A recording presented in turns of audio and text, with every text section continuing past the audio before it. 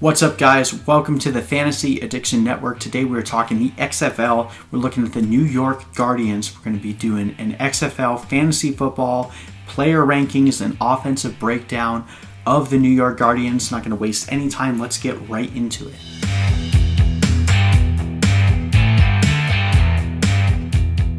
All right, guys, so let's begin by looking at the head coach of the New York Guardians. So it's Kevin Gilbride formerly the offensive coordinator for the New York Giants all the way back in uh, 2013. So he's kind of been out of the game for a while, but this is a completely new game. They got him to come out of retirement, excited him enough to come back to New York and coach another football team here. So it's going to be really interesting to see the type of offensive philosophy that um, he brings into this team. I, looking just based on the way that they've constructed their roster, it seems that they're going to be a little bit more focused on trying to do like power running, but overall, I think that that's probably not going to work too well in this league. I think that overall, the strength of this roster is pretty high. They just need to make sure that they use their assets in an appropriate manner if they want to make sure that they succeed in this league. But let's break down each guy one by one, uh, looking from the fantasy lens here. So we will begin with the quarterbacks, uh, beginning with Matt McGloin. Uh, so he has a pretty decent supporting cast of receivers, and I think Matt McGloin has every chance of being successful in this league. He's not really prolific or extremely talented in any one area, but I think if he can avoid turnovers, he can definitely be the XFL's version version of like a game manager, similar to that of like Alex Smith, and that could definitely still warrant fantasy value just because in a league like this, if you have a quarterback that's at least, as at least competent and can keep playing well and uh, avoid too many turnovers, that's going to be a relevant and useful fantasy asset. Um, I think the his lack of overall talent keeps him from having the ceiling of someone like Cardale Jones or Josh Johnson, but I think with that comes a cheaper draft day price. So if your option is to try to wait on quarterback, I think Matt McGloin ends up being a nice mid tier option for you guys. Now, um, he does have a backup, Marquise Williams. His measurables aren't really that different from McGloin, so if McGloin does start throwing picks or just overall underwhelms and he ends up getting benched, or if he gets hurt, I do think that Marquise Williams can probably just pick up right where McGloin left off. And from a fantasy perspective, you can probably expect about the same output from both him and the players around him should that happen. Um, but let's jump over to the running backs and start breaking this down. Now, I mentioned at the start that I think that this offensive philosophy, they're looking to center this more around power running backs. And I, I say that because when you look at their first running back that they drafted, Tim Cook, he dra- they drafted him in the fourth round. He's a big bodied runner with uh, low overall speed, but is you know pretty athletic and strong otherwise. Um, really compares to like fullbacks. I think his best comparable player is like Kyle Juszczyk for the 49ers. So the first running back that they selected was more of a fullback, which again is what's angling me to believe that they're trying to do power running. I just don't think that with the way that the rules are set up in this league that that's necessarily going to be the way that any team is going to find success. So I'm not super excited about Cook. I do think that um, He'll probably end up being their goal line ru- rusher, so he'll probably have at least some fantasy upside each week, but I wouldn't expect really anything from him in the passing game, so I think that severely limits his upside. Honestly, the running back that I'm personally more excited about and have ranked higher is Justin Stockton. Now, they didn't draft him until the eighth round, but he's only 24 and plays at a much higher speed than Cook. He averaged 6 yards per carry and averaged over 20 receptions each season in Texas Tech. So while Stockton may get vultured near the goal line, I think he's a better all-around rusher and should be a decent tier 2 guy with an op- with the upside to be a running back 1 in the XFL. So between those two guys, I would much rather have Justin Stockton. And if people continue to pump up Tim Cook, I think you can probably get a running back one a little bit later in the drafts if you just wait and pick up Justin Stockton.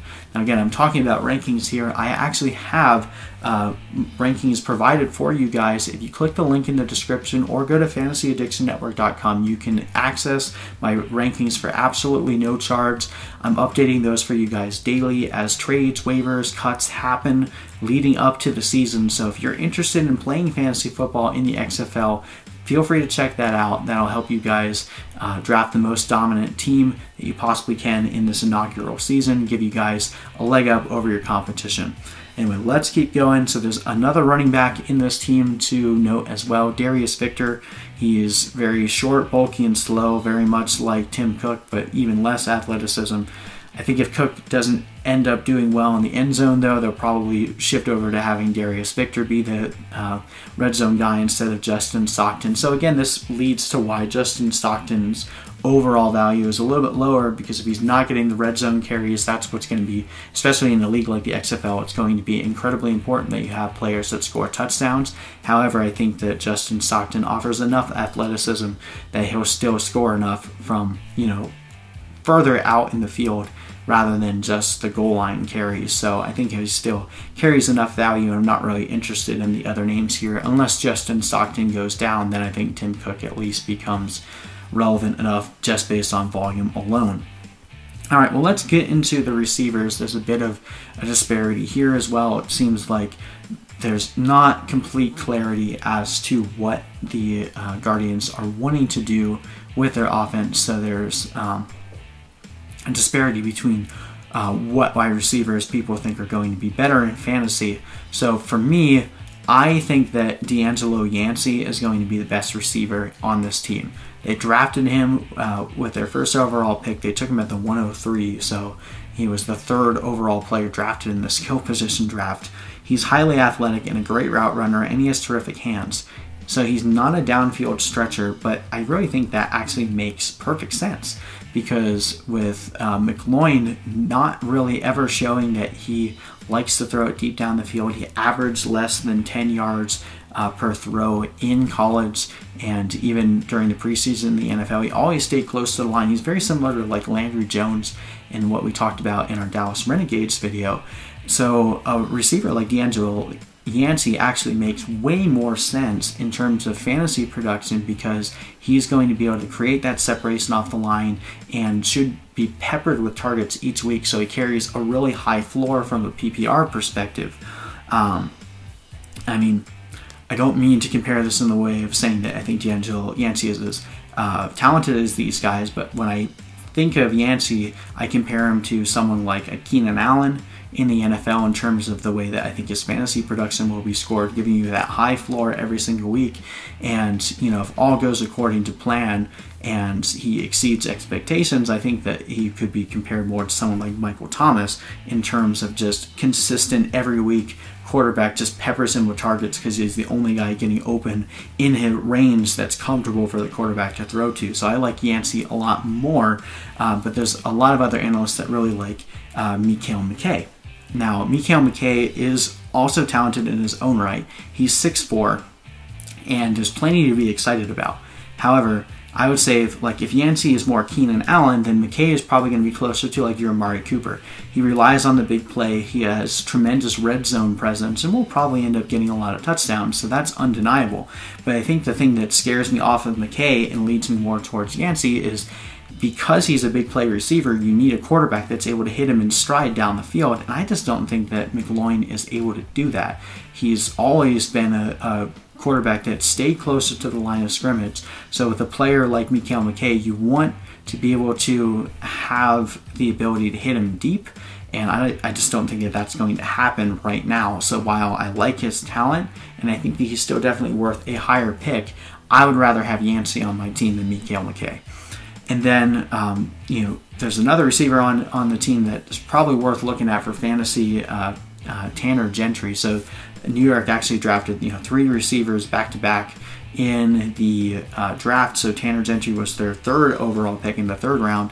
Um, so Gentry offers a really good deal of burst, but again, not really that top end speed you'd like to see in a typical slot receiver. He played with Josh Allen in Wyoming, so he was another deep ball target. I think he averaged like 16 or 18 uh, yards per reception. So another big play receiver. So there's going to be two guys in the X and the Z. You've got McKay and Gentry that are going to be stretching the field, but when you have a quarterback that can't hit him in stride, he's just going to end up defaulting to throwing to. Uh, Yancy over and over again, which again is why I think Yancy is the best option here, but I'm willing to be wrong. I just think that Yancy is going to be the best value play here, especially because most people are going to draft McKay over Yancy, and I think Yancy finishes as the better overall receiver. That's not to say that I don't think McKay won't have good games that make him worth starting. I just think that Yancy will be more consistent. All right, and then looking at the tight end, so we have EJ Bibbs here is the only guy to really consider for fantasy. He's big, slow, and doesn't have any eye-popping measurables, but overall, I think he and uh, I think he and McKay will likely soak up a lot of red zone. And again, those extra point targets, we got to talk about that because of because of the way that the rules are structured in the XFL with no kicking extra points. There's going to be a lot more points available every time a touchdown is scored. So big play guys like McKay and Bibbs definitely do have some more upside because they'll most likely be targeted in those one, two, and three point conversion plays.